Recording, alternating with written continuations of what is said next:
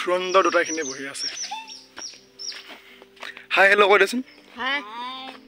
Hello YouTube আপোনালোক কেনে আছে? And welcome back to my channel আমজিজ vlog আৰু আপোনালোকে চাই আছে মুখ নোহোৱা ভিডিঅ' পাৰ্ট টু থামনেল দেখি গম পাইছে যে মুখ নোহোৱা ভিডিঅ' পাৰ্ট টু মই বনাইছোঁ। আৰু এই টিকলু মিকলু ভিডিঅ'টো বেছি দীঘল নহ'ব আপোনালোকে স্কিপ নকৰাকৈ চাই থাকক। আৰু এই সন্মুখত যিখন বাগান দেখিছে এইখন বাগানেই হৈছে আমাৰ বগৰী বাগানখন আৰু তালৈকে গৈ এতিয়া ওচৰে পাঁজৰে গৈ কিমান বগৰী লাগিছে আৰু মই আগৰ ভিডিঅ'টো কৈছিলোঁ যে চাৰিটা প্ৰজাতি বগৰী আছে। এই চাৰিটা প্ৰজাতিৰ বগৰীৰ নামো মই কৈছিলোঁ।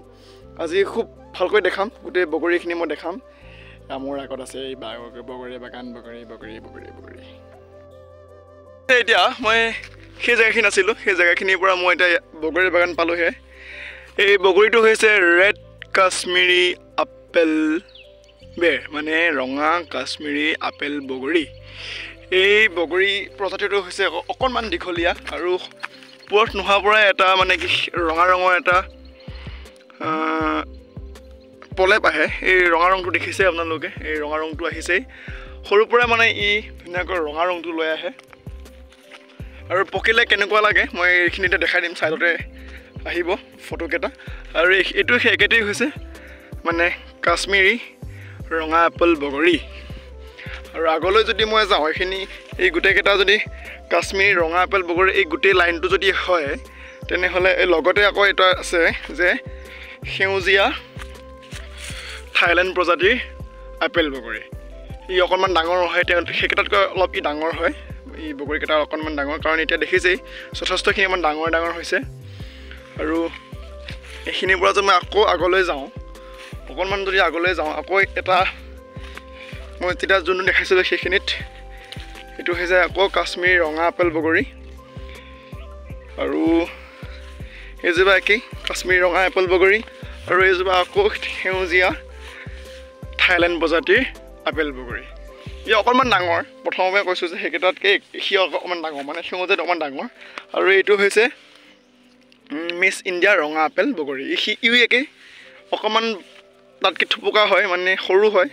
সৰু নহয় আচলতে থুপুকা সি অকণ দীঘলীয়া আৰু ই অকণমান থুপুকা। ইও সেই একেই প্ৰথমৰ পৰাই ৰঙা ৰঙা ৰংটো লগত লৈ আনে দেখিছে? এইকেইটা। আৰু অকণমান যদি মই আগলৈ যাওঁ সেইখিনি একেই।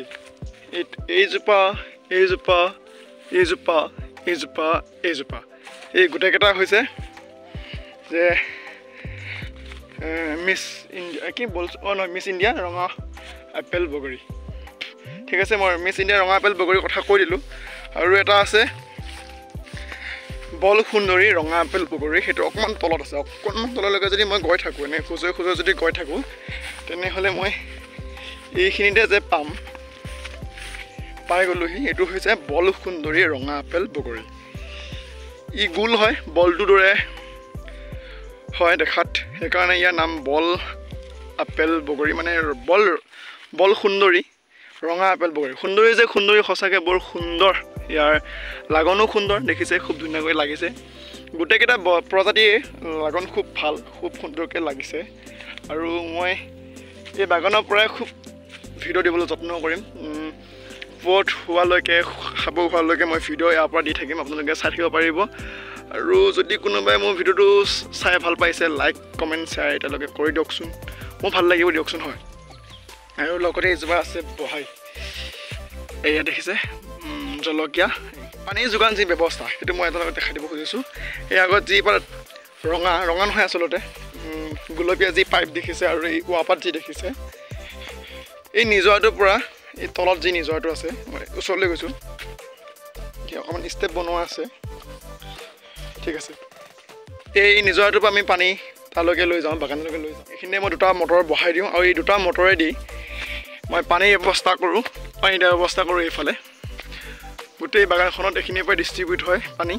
আৰু সিদিনা মই প্ৰথম ভিডিঅ'টোত দেখাইছিলোঁ যে ৰবৰ নাৰ্চাৰীখন সেইখন হৈছে এইখন।